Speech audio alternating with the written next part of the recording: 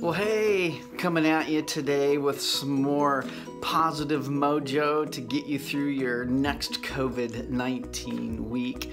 Uh, a, a, few weeks ago, when I was uh, teaching on fruit of the Spirit, it was actually in the first week, uh, and I went over the first fruit mentioned, which is love, and I had noted that all of the other fruit listed later are all nuances or facets of love, but I had given some quotes from four to eight year olds who had been asked the question, What is love? and they had given their responses. And so a lot of emails came in asking if uh, you could get those. So, anyway, I'm going to read you through a few more. Uh, I'll cover the ones I did, but I want to give you a few more uh, just to, to, kind of get your, your brain back into a positive state for this week, all right? Number one, uh, Rebecca, who is age eight.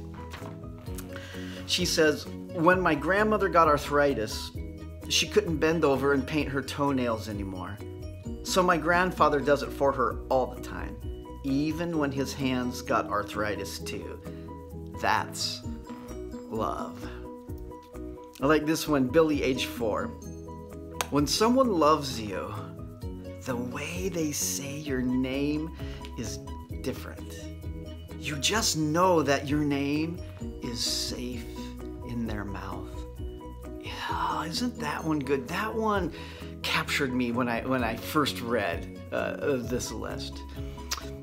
You just know that your name is safe in their mouth. So good. Terry, age four. Love is what makes you smile when you're tired. Danny, age seven, says, Love is when my mommy makes coffee for my daddy and she takes a sip before giving it to him to make sure the taste is okay. Good stuff. Emily, age eight. Love is when you kiss all the time.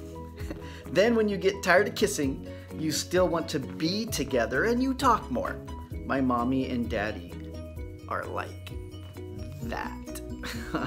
Good. Bobby, age seven. Love is what's in the room with you at Christmas if you stop opening presents and listen. Oh, isn't that good? Love is what's in the room at Christmas if you stop opening presents and just listen. Good stuff. Nika, age six. If you want to learn to love better, you should start with a friend whom you hate. Woo! Now that is some depth for a six-year-old girl. Thanks, Nika, on that one. Uh, Noel, age seven. Love is when you tell a guy you like his shirt and then he wears it every day.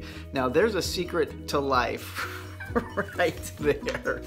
Um, Cindy, who's age eight says, During my piano recital, I was on a stage and I was scared. I looked at all the people watching me and saw my daddy waving and smiling. He was the only one doing that.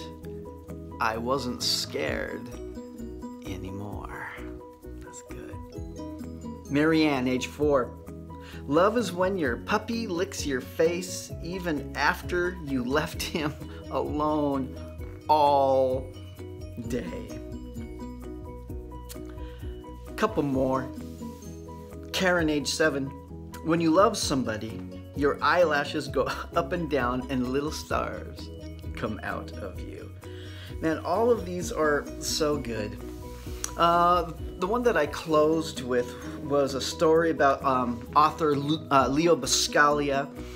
Uh, he once talked about a contest and uh, that he was asked to judge. And the purpose of the contest was to find the most caring child. The winner was a four year old uh, child whose next door neighbor was an elderly gentleman who had recently lost his wife. Upon seeing the man cry, the little boy went into the old gentleman's yard. He climbed onto his lap and just sat there, just hung out. When his mother asked him what he had said to the neighbor, the little boy said, Nothing. I just helped him cry. Love is the highest of the virtues. Love is your birthright. Love is already inside of you. You don't have to muster it up. It's not a feeling, it's an action to lean into every day of your life. And as you begin to look at the people around you, even the ones who are frustrating you, maybe even today, maybe even this week, through the eyes of love, I'll be honest with you, everything changes. So, you guys have an amazing week.